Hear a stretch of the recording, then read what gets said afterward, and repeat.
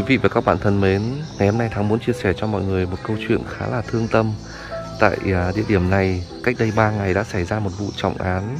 Người chồng đã xuống tay với chính người vợ của mình, à, khiến chị ra đi mãi mãi, để lại 5 người con cho ông bà ngoại.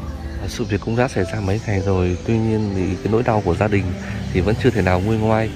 Và khi Thắng nhìn thấy các bé quỳ gối cũng như rằng là đứng trước bia mộ của mẹ ấy, Ờ, các con vẫn rất là ngây thơ hồn nhiên. Ờ, chắc là các bé cũng chưa có nghĩ rằng là mẹ mình đã qua đời đâu. Thì ờ, để hiểu rõ hơn cái câu chuyện này và nguyên nhân tại sao mà anh chồng lại làm như vậy, thì thắng xin mời tất cả cô chú anh chị cùng thắng vô bên trong gặp ừ, gia đình để tìm hiểu nhé rồi thắng xin mời mọi người ạ.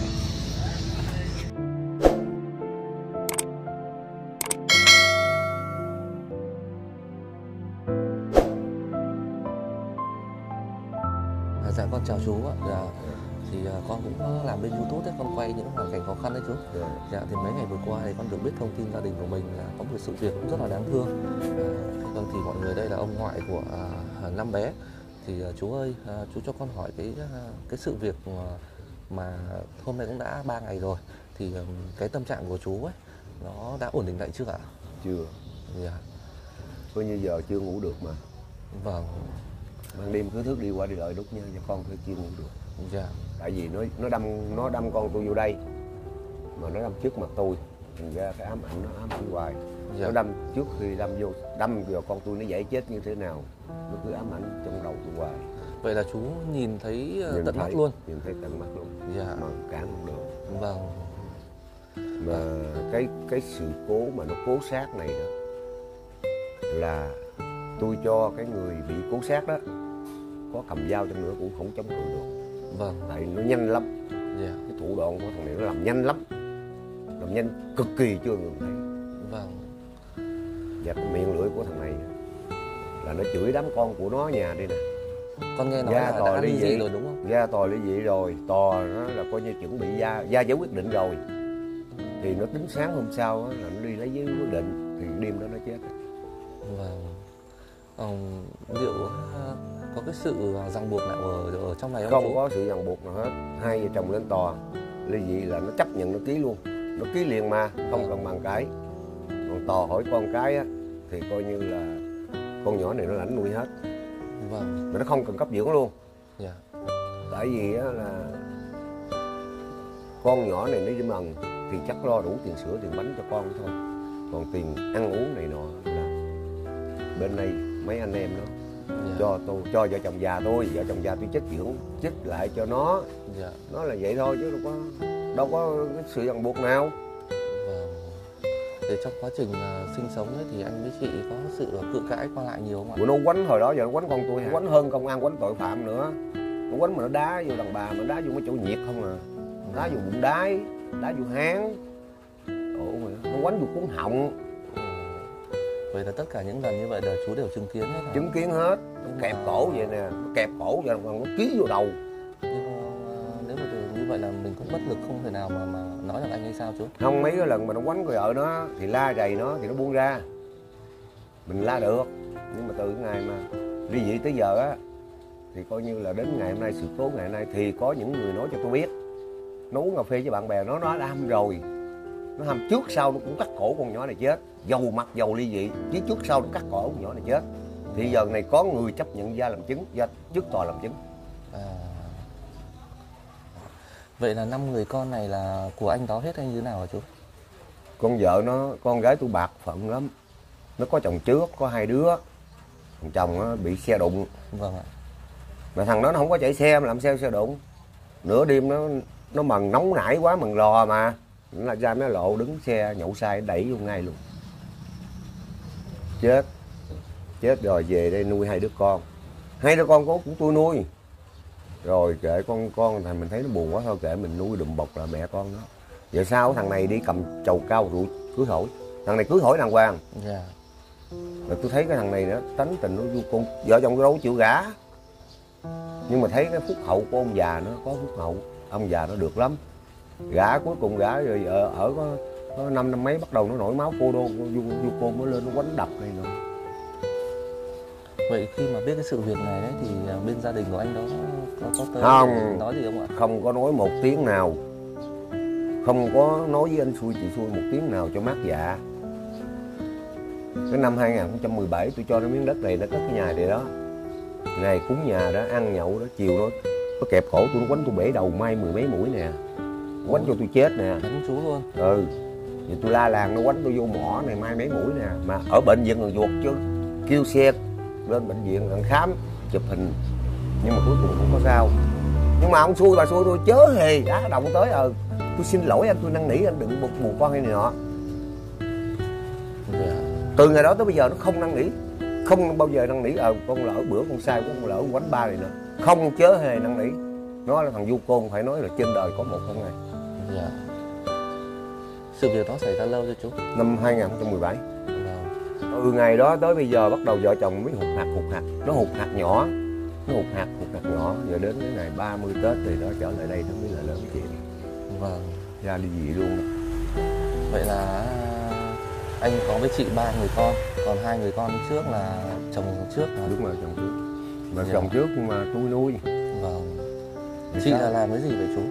Nó cũng là công dân. Nhưng sao cái từ ngày mà nó lục sục với, với chồng nó nó nó ly dị đó. Dạ. nó nghỉ nghỉ làm công nhân nó nhà bắt đầu nó làm nghề uống tóc chị nó là nhỏ này nè. Dạ. Nó có tiệm với chợ á mà tay nghề nó yếu. Nhỏ này tay, tay nghề cứng lắm nó chủ tiệm đó. Thì bây giờ nhỏ kia mất rồi nhỏ này ảnh nuôi hết luôn á. Nuôi năm đứa bảy đứa. Hai đứa con nó với năm đứa kia nó bảy đứa. Vâng. Giờ nhận nuôi hết luôn.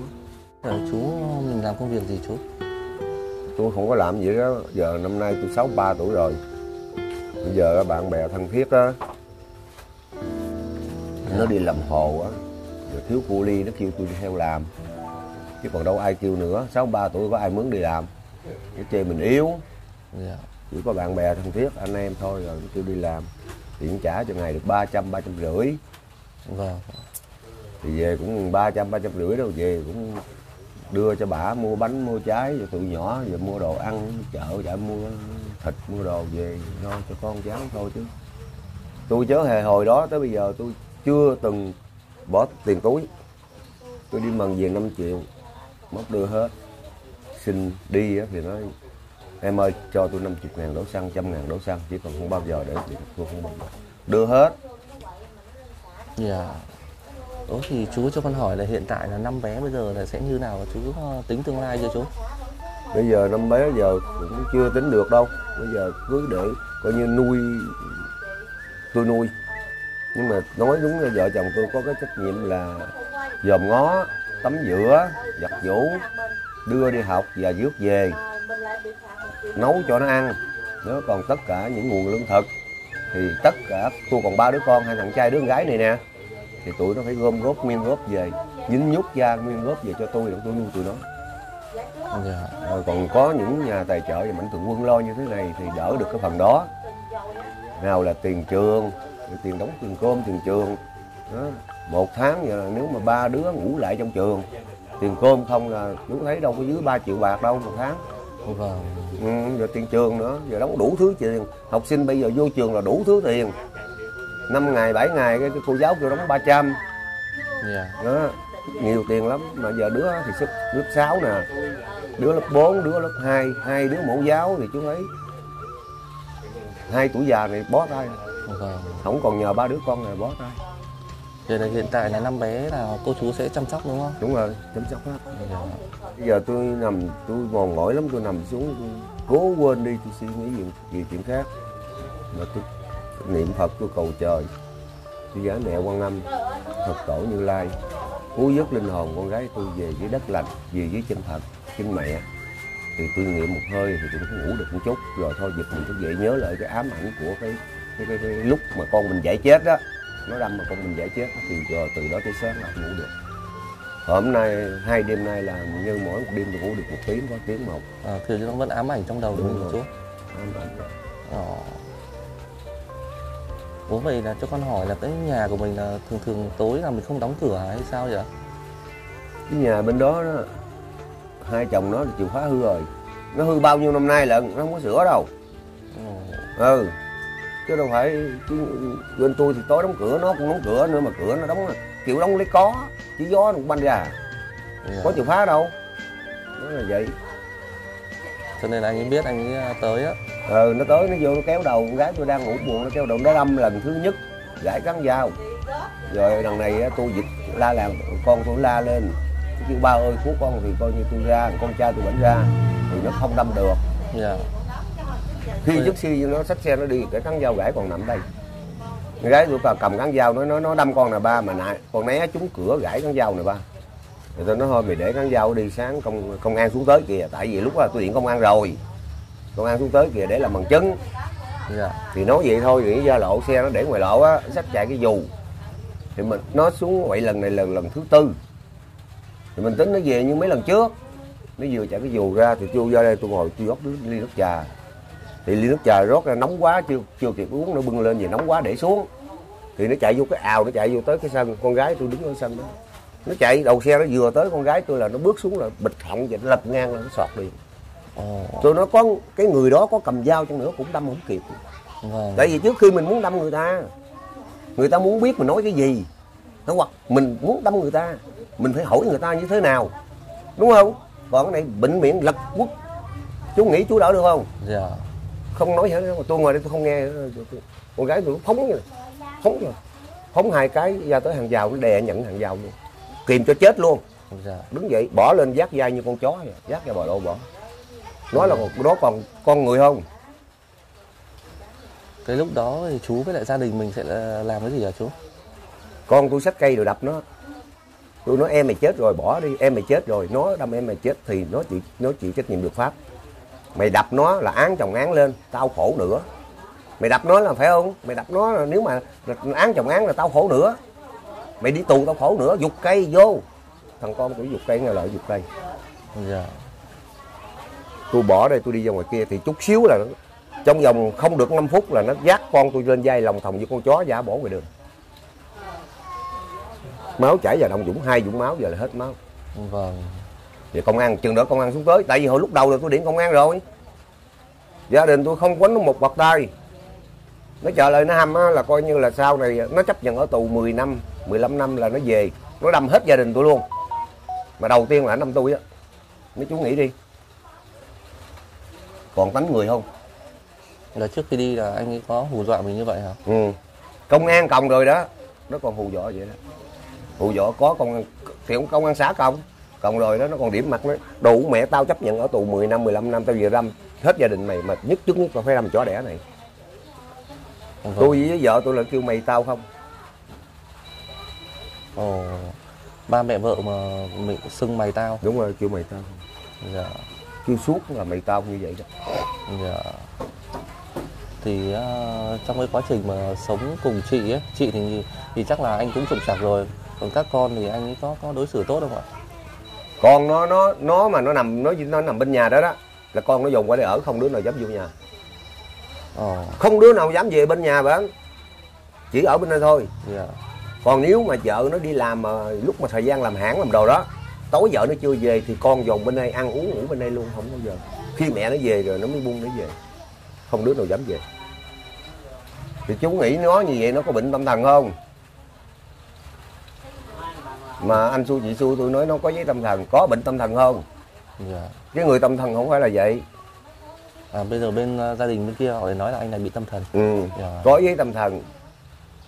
Cái người tâm thần có như vậy không? Nếu người tâm thần như vậy dòn vô cái trung tâm chạy tâm thần đó là nó đâm lộn với nhau hết luôn không có thằng nào sống hết. Dạ. đâm luôn cả tới bác sĩ luôn. Đúng không? Vâng. Không phải nói xong nói ra cái lỗ miệng mà sao không không suy nghĩ cái lời nói mình nói như vậy? Có đúng không? Cái người tâm thần nó như thế nào? Cái người tâm thần đó là một người điên. Như chú chia sẻ con thấy rằng là tới thời điểm này họ vẫn bênh con trai đúng rồi họ vẫn bên con trai họ. Dạ. giờ bà còn nói bà nói trời ơi mấy cộng đồng mạng bên hội ờ, thiện nguyện rồi này kia tài trợ cho năm đứa cháu ngoại tôi. Tiền bạc hay gạo thóc rồi này kia còn giờ bà không có tiền để thăm con bà bà không biết sao. Ủa bà tính chắc bên đó không tài trợ cho bà đi bên thăm con bà sao? Dạ. đúng không? Đi thăm con bà chưa chắc gì có tiền mà xuống tới đó nó mở cửa cho thăm đâu. Dạ. cái tội này nó đâu có cho thăm. Thật ra ở đây ờ, cộng đồng mạng cũng như là các cô chú mạnh thường quân ấy là coi là thấy thương các bé nên là họ cũng muốn giúp. Đúng rồi. Vâng. Bây giờ cộng đồng mạng cũng có nhiều người cũng suy nghĩ suy nghĩ như tôi. Ông ngoại bà ngoại sang năm nằm xuống. Đám nhỏ này sao đây? Dạ. Còn tôi cha cũng với bà thì dì nó còn thương đám nhỏ này cậu nó còn thương đám nhỏ này. Thương là sao? Thương là vì cha vì mẹ.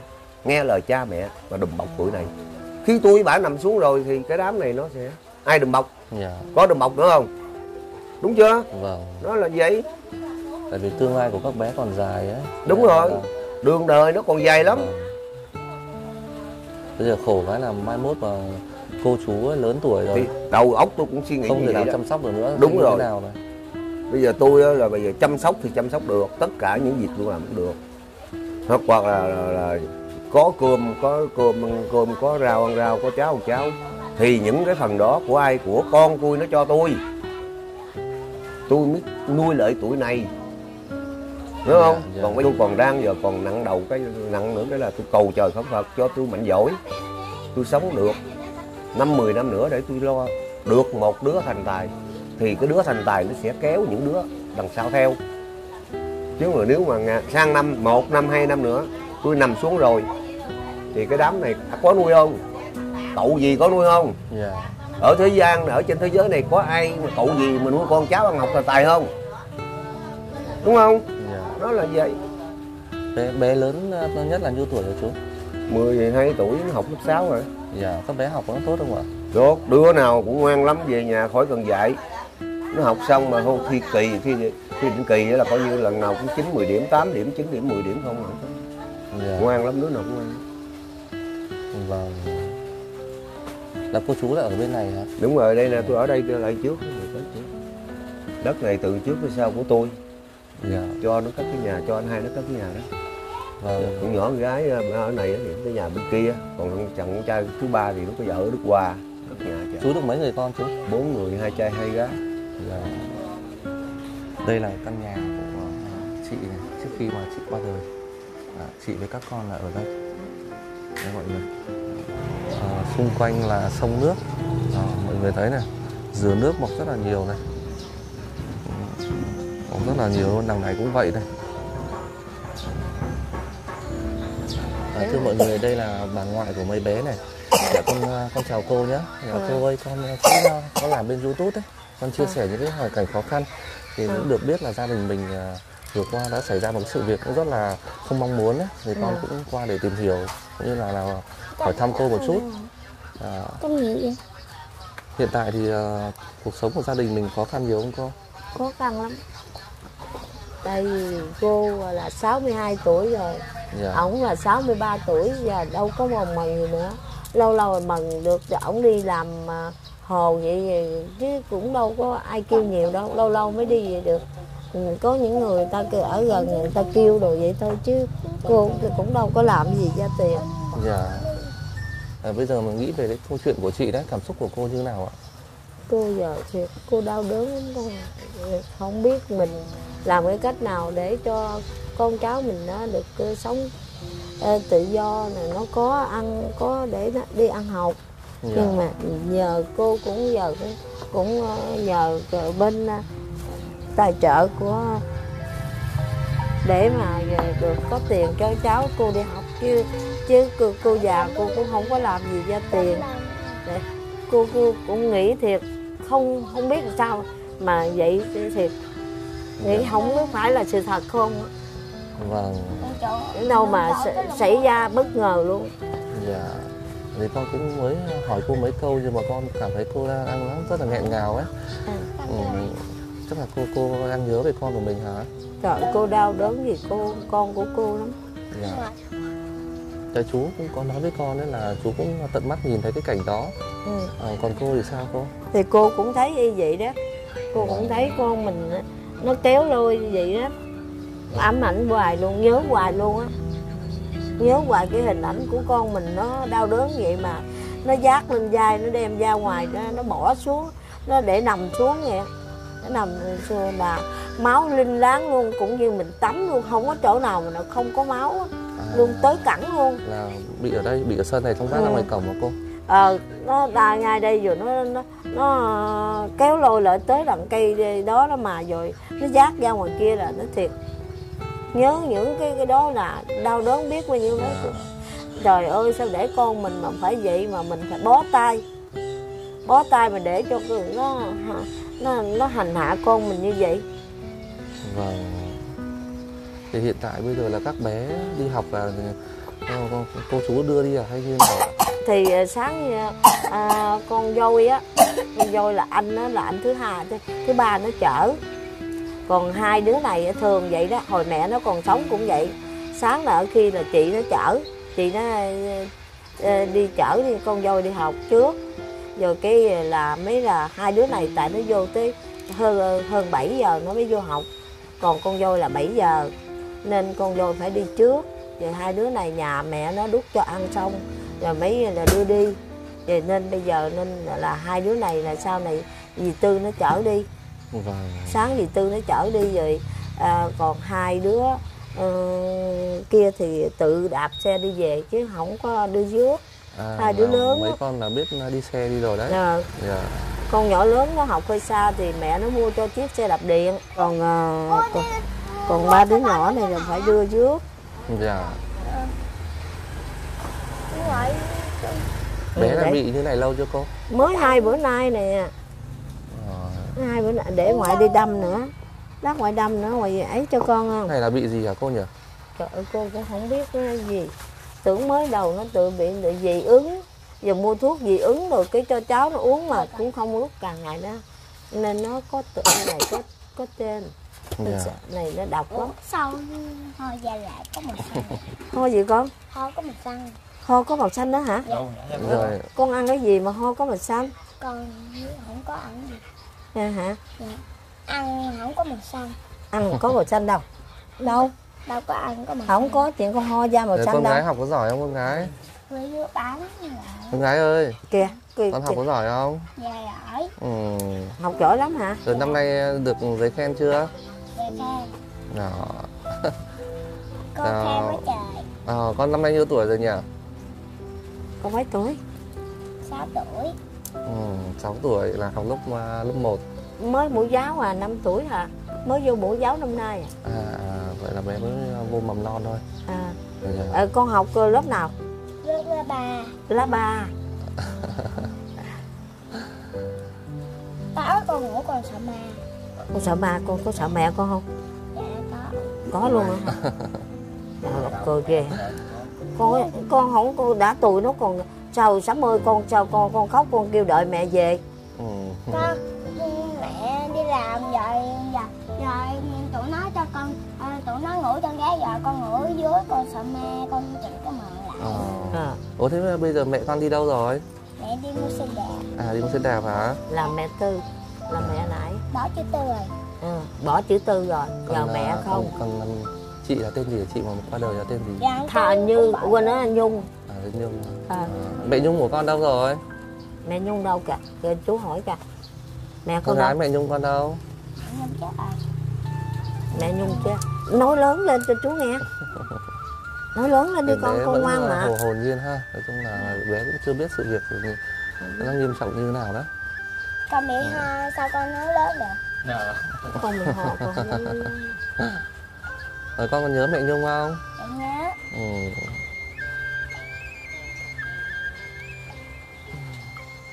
Đấy thì ờ, thưa mọi người đây cũng là hình ảnh của ờ, bà ngoại này, ông ngoại thì đang nằm võng cũng như là một trong năm bé con của chị đây.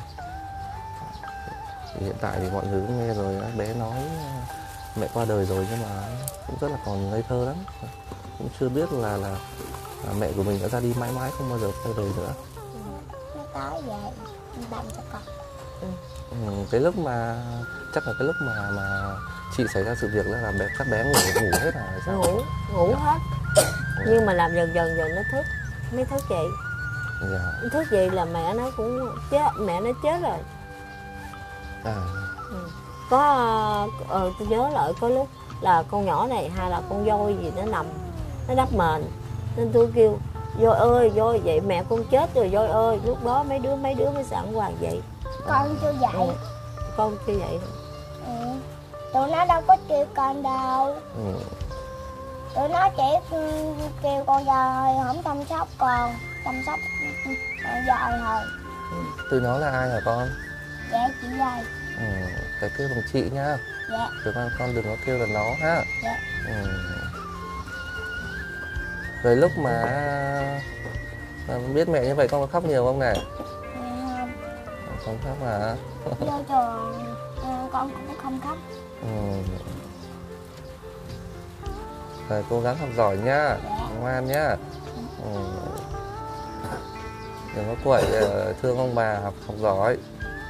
Có gì tập à, xếp bàn ngang đi tập thể dục á. Ừ. chuyện gì đâu. Còn mấy bé nó đâu rồi hả cô? À, thì à, nãy thằng chắc ngủ bệnh. Dạ. thì nãy mẹ nó chở đứa đi đi vô đặng được đi xe đạp đó. Rồi đứa này rồi hai đứa lớn đi học. Ừ. hai đứa lớn học tới 4 giờ, giờ mới về 4 giờ năm 4 giờ 20 mới về tới dạ. tại bữa nay là con nhỏ chị nó học lớp 6 thi. Ừ. ừ, đẹp. Dạ, à, được biết sự việc như vậy thì con cũng à, đến thăm để hỏi thăm à, gia đình của mình cũng như là có một à, chút tiền của mạnh thường quân đấy để con gửi để giúp cho mấy bé. Ừ, dạ, nói chung là cũng góp một phần nào đó nhỏ nhỏ để giúp cho gia đình của mình ha cô chú ha. Ừ, dạ dạ. Cô, cô rất mắn ơn cho những mạnh thường quân đã cứu giúp cho cô. Dạ bây giờ là Thì- cô chú cũng lớn tuổi rồi chắc là mình cũng hết khả Dạ. năng ha. Thôi đâu có làm gì ra tiền. Nhưng mà mấy đêm hôm nay thì chắc là cô với chú không ngủ được phải không? Không có ngủ nghe được. Mà ăn cũng không có ăn. Nhớ con nào càng đau đớn cứ nhầm nhớ con không à? Dạ. Nhớ. Tại vì nó thiệt cứ cô cô cưng con này dữ lắm. Cô thương nó lắm nó là út mà nó nghèo nó khổ nữa. Nên cô thương nó lắm. Nên là ở nhà cái gì cô cũng nó khi nó nằm nó bấm điện thoại vậy chứ cô bên đây cô tắm giữa con nó hết. Cô đút- cơm cho con nó ăn. Nó đang nó ngồi nó bấm điện thoại nó chơi vậy đó. Dạ. Có khi cô giận á thì cô chửi nó nói mày không lo cho con mày hết á. Mày cứ ngồi đó mày bấm điện thoại không à mà vậy nhưng mà nói nói với cưng con rồi lo tắm giữa ba đứa nhỏ này. Rồi còn nó ngồi nó chơi rồi tới nấu cơm sẵn là qua mẹ con bới đưa cho con đứa chén chén ăn.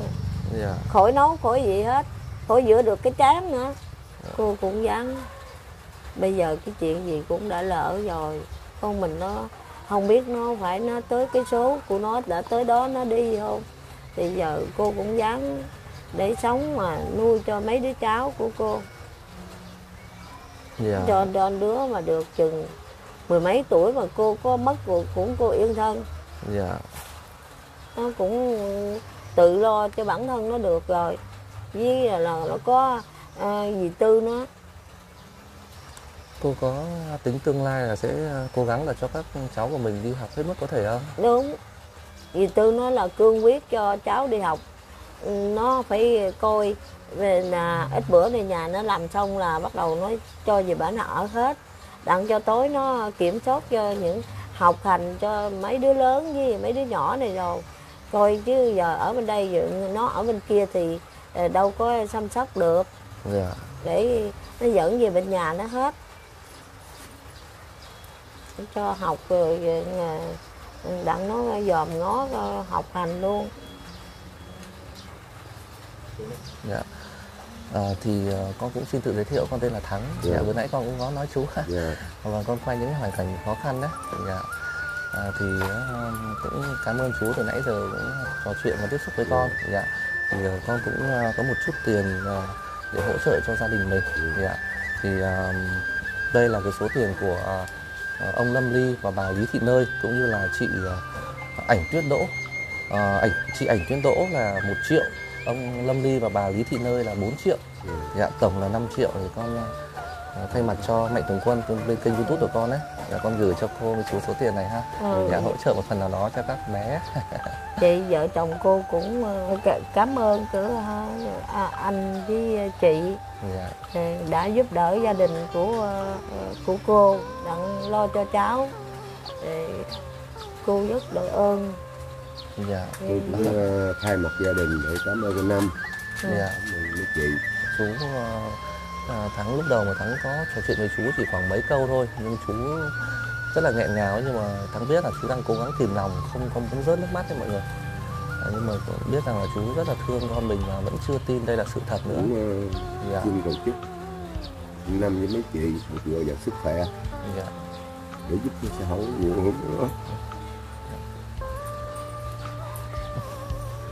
nói chung là bây giờ cô chú hiện tại bây giờ cô chú là người mà sẽ rất là khổ à, tại vì bây giờ cô chú cũng lớn tuổi rồi mà không còn khả năng lao động nữa à, thắng cũng à, khi mà coi được clip ấy thắng nghĩ rằng là nếu một mai một vài năm nữa cô chú mà lớn tuổi ấy, thì không biết là các con sẽ như thế nào thì à, qua clip này thì thắng cũng thay mặt cô chú ở đây à, rất mong các nhà hảo tâm các mạnh thường quân đó nếu mà chúng ta muốn phát tâm hỗ trợ thì có thể là liên hệ với thắng để à, à, giúp một phần nào đó cho cô chú.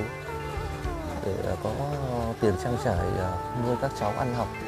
Dạ, cũng là mong sao là các con sau này lớn sẽ à, giúp ích cho xã hội. À, thôi thì con cũng à, chúc cô chú sẽ gặp nhiều may mắn ha à, cô chú đừng buồn nữa. Cảm ơn con. Dạ, dạ. cũng về chắc Dạ. nhờ tụi các con con thôi. mà mấy là có dạ rồi con à, chúc cô chú sẽ gặp nhiều may mắn. Dạ. thì thắng cũng xin phép là kết thúc clip này đây ạ. Cảm ơn tất cả mọi người đã theo dõi và hẹn mọi người ở những clip sau. Dạ